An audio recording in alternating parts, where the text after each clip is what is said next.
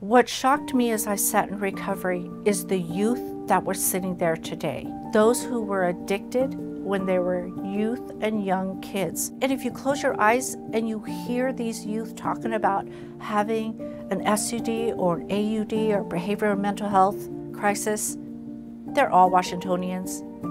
They weren't anything more than kids who come from places that they thought were safe homes.